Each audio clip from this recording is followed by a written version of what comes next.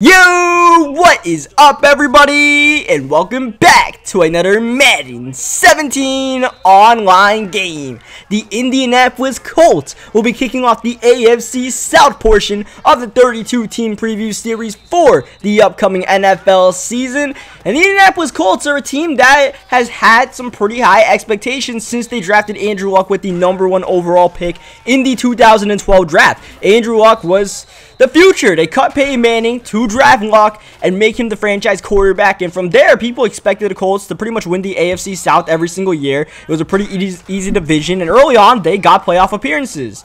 And, you know, people were expecting them to take the next step. And the furthest they got was pretty much going against the Patriots, and then they would lose to the Patriots in the playoffs. But lately, they haven't even made the playoffs anymore. It's been the the AFC South has been the Houston Texans division, and the Colts have kind of lagged back. Andrew Luck was hurt a couple of seasons ago, and really their roster is just not up to par. And you know, the quarterback position is fine. Andrew Luck's been one of the best quarterbacks since he's been drafted, and he's steadily improving. I thought last year he was really good considering what was around him. The problem is what is around the Indianapolis Colts, and when you talk about that, you got to look at the GM Ryan Grigson. And Grigson is no longer with the team. He got fired because of the lack of pieces on this draft, but it's really just everything when you look at it for the Indianapolis Colts. The draft went bad since Grigson's been around, besides the 2012 draft. Free agency has gone awful. They haven't really brought in anyone. They've more so lost pieces than brought in key contributors. And for some reason, they're formula in free agency for the Colts the last couple years under Grigson was bringing in old guys who are already washed up. Whether you're talking about uh, like Jeff Saturday was brought in for a year. They brought in Trent Cole. Frank Gore is the running back right now. Really big names, but not playing the way they used to in their prime because they're old now. And then when you look at the draft, the 2012 draft was stellar for the Colts. They got Luck, they got T.Y. Hilton in the third round, they got Dwayne Allen in the third round as well. They even got Vick Ballard, who was a contributor for a couple years. But after that, it's been pretty, pretty bad. The 2013 draft in particular, drafting Bjoern Werner in the first round and, and everyone on this list in the 2013 draft, none of these guys really contribute for the team. So the first round of the NFL draft is really important because it's hard to mess it up. There's a lot of big time players that you can get for your team that, if they're not going to be Pro Bowlers, can at least be yearly contributors on a solid basis for your team every single year. And the Colts haven't really gone too much of that. The 2014 draft in the first round, they didn't have their pick. You know why? Because they traded it away to get Trent Richardson. That did not work, as you know by now, at all. 2015 draft first round, Phillip Dorsett.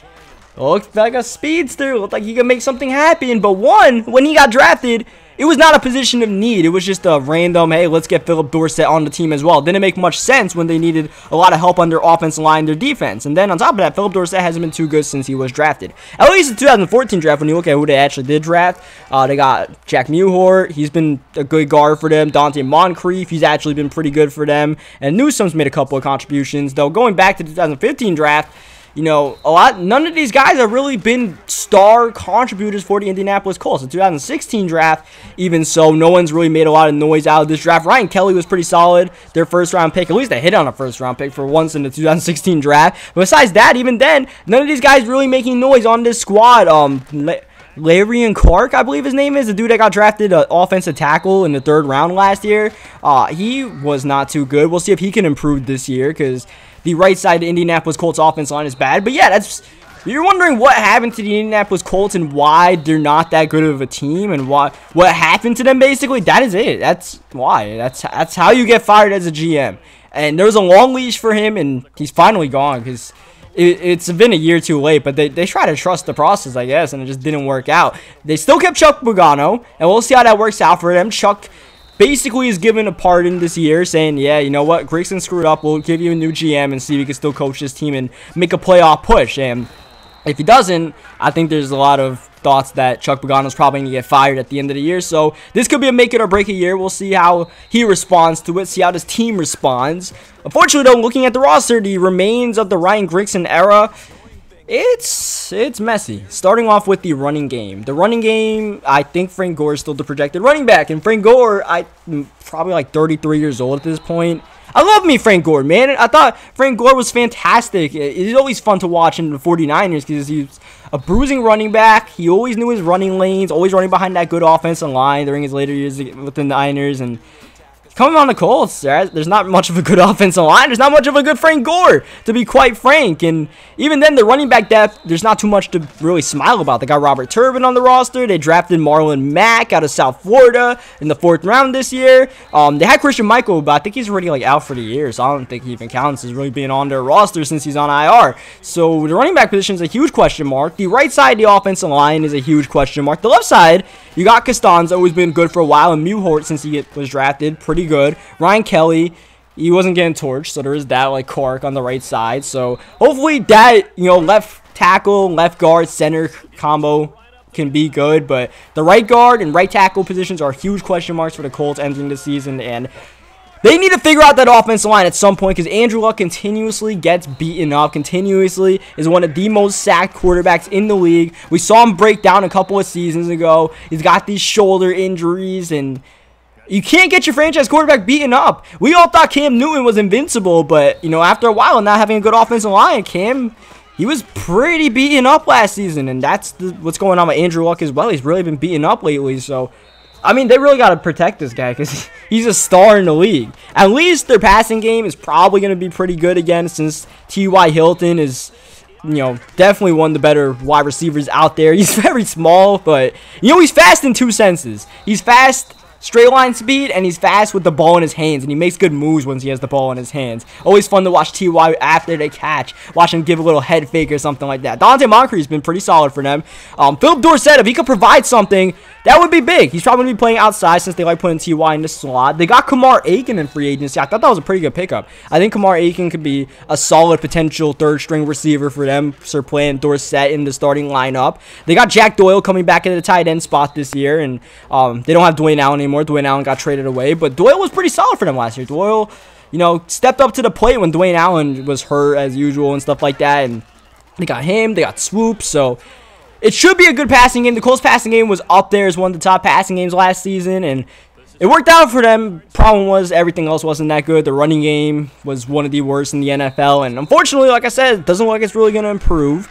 We'll see if I don't. I, they, I gotta find something besides Frank Gore to really improve that running game. If you ask me, I just Frank Gore had over a thousand yards last season. Don't get me wrong, but it's just they could do better. They they can do better than that. And then we go to the defensive side of football. We haven't even touched the defensive side. Their passing game was pretty much a joke last year, and this year in the draft, they really tried to fix that. And it's a point of concern, and they smartly attacked it with the first two picks in their draft with Malik Hooker at the safety spot. That could be a big time pick. A lot of people think that Hooker could be a star for this team. I mean, he came out of a big time college, so that's part of the reason why there's a lot of hype around him. But, you know, he'll be starting next to Clayton Geathers this season at the safety spots.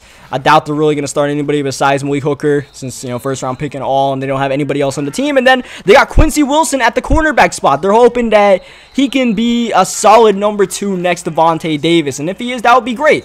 Though we also need Vontae Davis to be the number one cornerback for the Colts because last year he was a little bit banged up and he wasn't really himself. So hopefully it was just an off year for Vontae. That was one of the few really good moves that the Colts made ever since drafting Andrew Luck, trading that second round pick for Vontae Davis. That was a steal because he's been a Pro Bowl quarterback ever since. A cornerback, I mean, I think it's a quarterback, but you know, he, I don't know what that trade was about, but it definitely was not the move. But you know, Vontae's there. Hopefully Wilson can contribute. Hooker. Um, we'll see what Geathers can do. Um.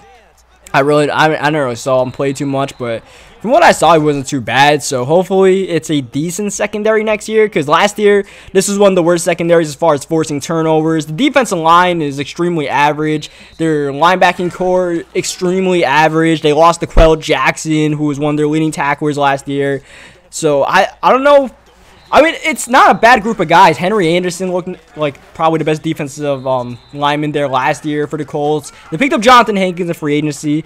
Um, as a Giants fan, not too big of a fan of Jonathan Hankins, especially the contract that he got, but he can be a solid rotation piece, help them stop the run down there and even get a little bit of a pass rush. They picked up some solid guys in free agency. Jabaal Sheard, Akeem Ayers. These are not bad names to have on your defensive line. It's just that you know, they're really going to have to work together to make something happen, get some sacks on the board because the Colts pass rush was another thing that wasn't good last year. So, you know, the Colts this year, they're this is one of those teams that their draft class can really shape up how their season goes. They can get these guys their first three picks were defensive players. They also drafted Tarell Basham out of Ohio. So uh, those guys can really come in and contribute. And even some of last year's draft picks, like TJ Green comes in, uh, the Cart guy I mentioned, he comes in and plays a big time role. It can definitely lead the Colts to win the AFC South. The problem for the Colts is, though, since they were winning the AFC South, this division has improved a lot. The Texans have maybe the best defense in the NFL still. The Titans are a team on the rise with Mariota and that offensive line and that smash mouth running game. And even the Jacksonville Jaguars, they're building up that defensive side of football. So because of that, I just don't think this is the year for the Colts to reclaim the AFC South.